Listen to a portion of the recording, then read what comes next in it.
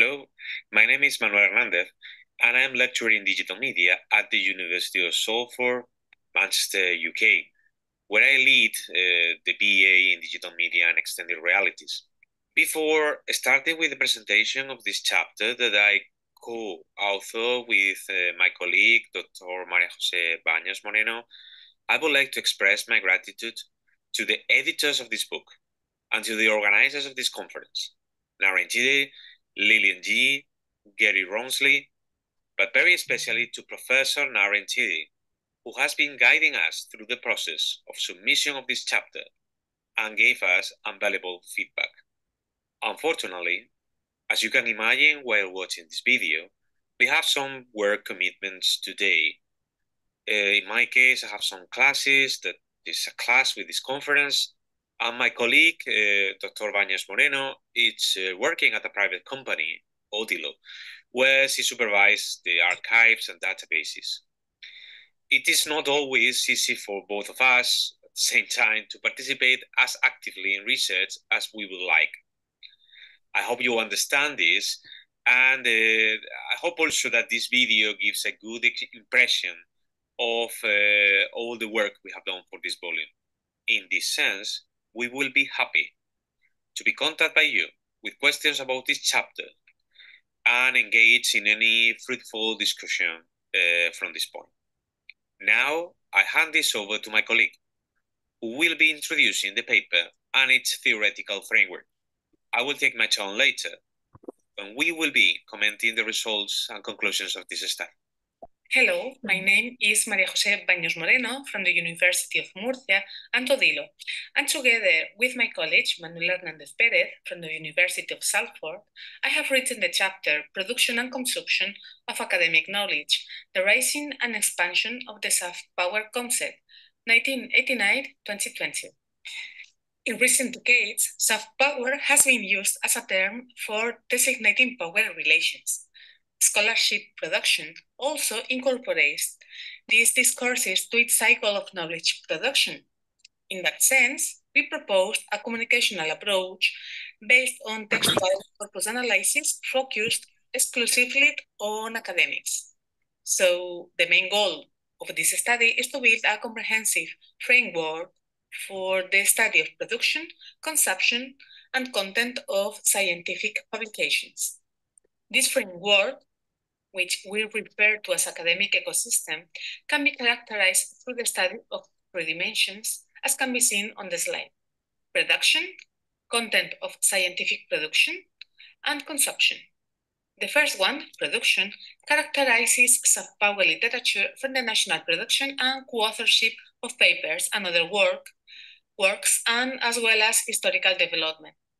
Content of scientific production is an analysis of soft power topics and themes to differentiate historical and local trends. And the last one, consumption, is about a review of different citation and reference measures. Here, the relationship eh, between consumption and production of soft power literature is considered uh, as an instrument of indirect measurement of national interest on the topic. Regarding to the methodology, for this research, it included the following major steps. Data collection and construction of the corpus and analysis of bibliometric data. In the first block, a search was carried out on Scopus, one of the main scholar databases, in order to construct a corpus composed of research articles specialized in soft power and other related terms, and belonging to the period 1989 and 2020. To include the maximum of related terms, some of the most representative publications of the area were selected. These are shown on the next slide. In the second block, the textual corpus was analyzed to extract characteristics related to the bibliometric production content, and consumption. This process included the following steps. Construction of a taxonomy, thematic evolution analysis uh, using SciMAT, and the third one, network analysis and visualizations employing VOSviewer. Four of the most representative publications about soft power are the next. the changing nature of world power, keeping up with Asia, America, and the new balance of power, China's soft power, discussions, resources, and prospects, and the last one, hard, hard power, soft power, smart power. By reading these works, many related terms that are part of the semantic field of soft power were found, including cool American and comprehensive national power. Also, some synonyms were identified, such as cooperative power, cooperative power, or responsible power. Our knowledge of the concepts linked to the soft power were increased substantially. This scheme shows the procedure employed. The search undertaken on Scopus yielded 105,080 documents. But after the data collection and selection, 16 were discarded, so our final sample was composed by 105,064 documents. After that, we identified 1,522 keywords. They were analyzed and categorized into three groups of equivalent terms, related terms and cases, or instances. As a result, we obtained a taxonomy with 889 groups of terms.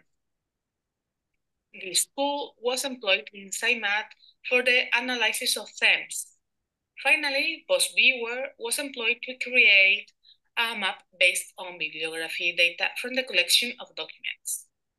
It also provided uh, other graphics that are exposed by Manuel on the next slides.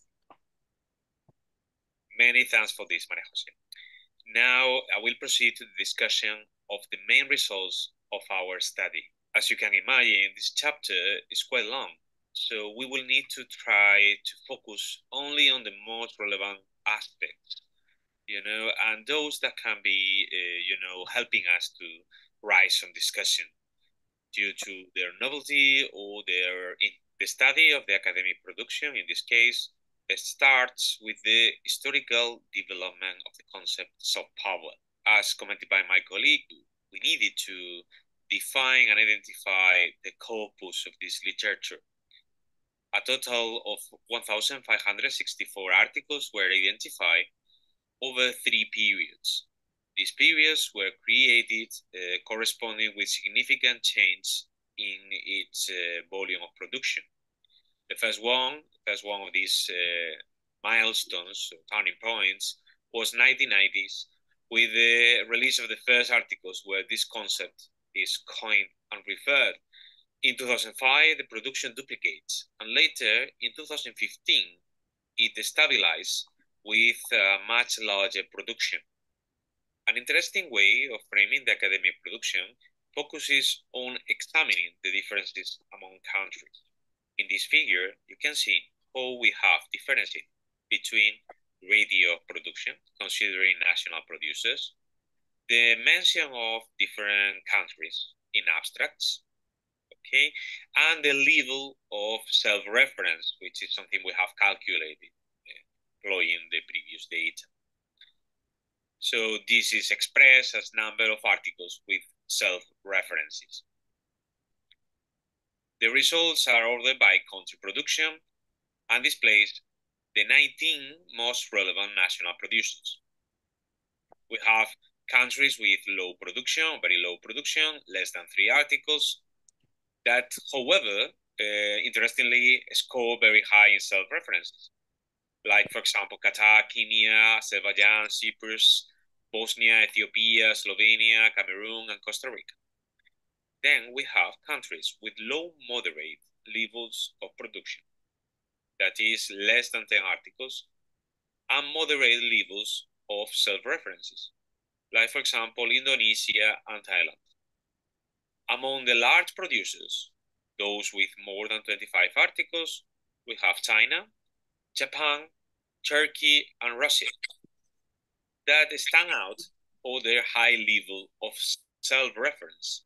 However, we have Canada, US, Germany, Sweden, France, and UK that are still large producers, but they have a very low percentage of self-referral. Obviously, we need to highlight the case of China, who is important as a national producer, but is even more important in terms of uh, abstract mention. The reasons for these differences in terms of self-referencing is something that needs still to be clarified. This graphic shows the evolution of international collaborations. In the first period, everything was individual or national collaborations. Then later in the second and third, there is a change, uh, change in terms of uh, increasing the international collaborations and uh, also the multiple affiliation, something very common nowadays in academia. As commented, Pantometric implies the combined use of bibliometrics, content analysis, and network science. In this figure, we can see uh, how we have visualized the co-authorship of countries collaborating using the software BOS Viewer. The results were filtered to show only countries with more than five citations, and show up 15 documents divided in 28 items, eight clusters. In terms of clusters, it seems very clear United Kingdom as one of the centers of collaborations and also United States. Another way of seeing this uh, collaboration among countries is the use of bibliographic coupling. That is to use the shared references. When we use this method, we can see that the clusters are not exactly the same because, for example, United Kingdom and United States tends to share the same references. So while they don't collaborate directly, they use the same corpus. A different reason to be done in the case of other clusters like one surrounding East Asia. What is the reason they tend to cross-reference the same work? Maybe because they share a particular geographical context, and therefore there is the justification for using sources that talk about the same uh, area. Defining the most important terms can be done through the creation of a strategic diagram analysis, which is one of the features of this SciMAT software we have employed. In order to maximize its usefulness, it was necessary to create a new thesaurus. Now, the strategic diagram analysis can show us some important relevant topics in the soft power literature. In this graphic, we have ordered them regarding these values in density. So health uh, related terms, soft power, US, these are the most dense terms. In fact, this is what we call motor themes because they are high in density, that is uh, the number of mentions, but also in centrality, the number of connection among other items. This allows us as well to see the evolution of these modal themes in relation to the different periods, and also the same for other Uh, less important themes, like those that are emerging or declining, or those that can be considered as basic and transversal themes. Here on the left, what you can see is the general sample without differentiating periods. The co-occurrence of terms can help us to characterize the concept of soft power in relation to other subtopics, we have, for example, in this graphic, public diplomacy, international relationships, also diplomacy types of subtypes, political power, hard power, Confucius Institute, and China. Perhaps more homogeneous is the case of the term US that relates to North America, administration, Cold War, military power, etc. It also deserves a special discussion the characterization of the concept health and all these related terms in relation to topics such as research, conflict, international cooperation, etc. Another way to explore these relationships is through the visualization of a network of co-occurrence. In this case, for example, we can see very clearly the cluster here in blue color in relation to soft power, diplomacy, cultural related terms, national branding, etc. Versus, for example, other aspects that might have to do more with hard power like uh, political power, geopolitical, international relations. As commented, the chapter is longer than this, and we have other interesting data in relation to the soft power concept and soft power literature. Here, for example, we have a co-citation network of sources. The relatedness is calculated based on the number of times they are cited together. The radius of the notes is a reflection of the number of citations. These results, uh, as usual, they were filtered to show sources over 100 citations. So we have 36 items divided in four clusters. Perhaps in this case, it's interesting to see the difference uh, between the different genres. Uh, we have uh, academic publications, for example, the volumes of power, the means to success, which is considered here like a journal. This is one of the peculiarities of databases like Scopus. But we have also in this yellow cluster other uh, peripheral sources like uh, like the Journal Foreign Affairs, or also The Guardian and The New York Times, which are not academic publications. With this, we should get to the conclusions of uh, our study. First of all, we think that soft power it's a good example of how scientometrics can be useful to read on international politics. In our case, we have employed this uh, framework of production and consumption of knowledge as a way of explaining how these two spheres, the sphere of academic uh, knowledge and international politics, might be interacting together, mainly through the reflection in the academic environment of many of the movements in international politics. One example could be to consider international production on soft power as a sign of the interest of different institutions, different countries on understanding and pursuing the soft power itself. Talking more about soft power, understanding better soft power, might be also a way to uh, achieve more soft power or just as a way of claiming the position of the country in terms of holder of this soft power. Also, the thematic analysis can help to characterize the soft power. Like, for example, co-occurrence of soft power can illustrate the relevance of other themes that are sometimes hidden. Like, for example, uh, health, the role of NGOs, the role of particular countries. Those can be considered in those can be considered in terms of centrality and density. These discourses can be also better characterized through the visualization techniques. This research is mainly exploratory and should be considered a first step for future investigations on soft power literature. Future iterations of the project could pay more attention to other academic forms of research, like, for example, conferences or book chapters, but also include other academic databases, like, for example, uh, Web of Knowledge or uh, Google Scholar. And those can be a good way of use these taxonomies that have been already defined in the context of a more ambitious exploration of the rise and development of the soft power scholar literature. Our chapter, as expected, employs many different resources. Perhaps it is especially relevant to focus our attention to the methods that have been mentioned in the context of the work it can be a good idea to be familiar with the work of the scholars who designed the software that we have employed. For example, the publications by Dr. Cobo's team in Spain, the creators of SciMAT, and Dr. Van Eck and Dr. Waltman, who designed the VOSviewer for network visualization. Finally, I would like to share our contact details and affiliation should anybody wish to contact us with questions or suggestions for future studies.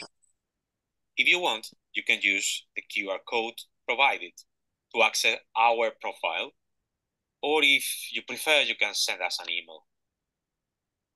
It has been a real pleasure to participate in this volume and this presentation. We hope you have enjoyed our research and to hear back from you soon. Many thanks again for the organizers of this conference and the editors of this volume that we are so proud to be part of. Thank you very much and bye bye.